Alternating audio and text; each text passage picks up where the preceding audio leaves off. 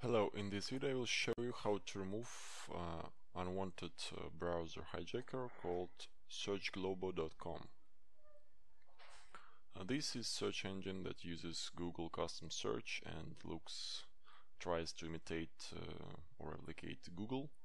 Uh, installs as default homepage and search engine in Google Chrome, Mozilla, Firefox and Internet Explorer and also hijacks browsers uh, browser shortcuts on desktop. Uh, as you can see it adds a URL to the path of, a, of the executable file uh, in the target field of browser shortcut.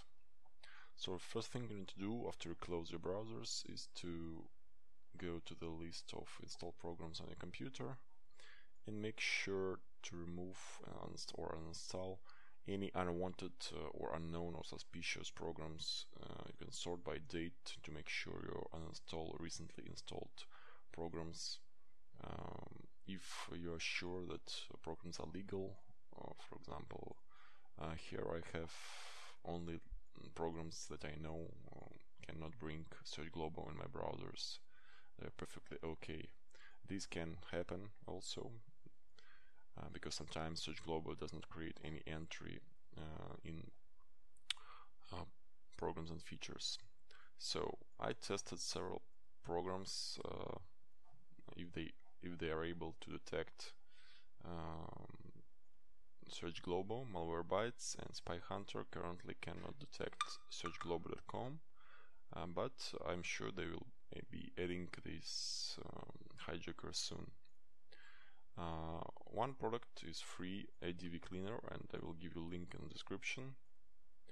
Uh, as you can see detected uh, uh some files of Search Globo which are Firefox uh, options uh, files. shortcuts detected that all shortcuts are infected. entries of Search Globo in the registry and the Firefox and Google Chrome uh, and all you need to do is to click clean button.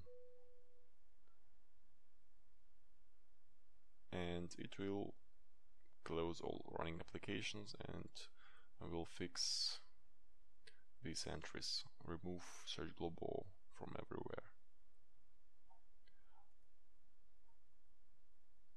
Uh, it says that ADV Cleaner must restart the computer to complete the removal.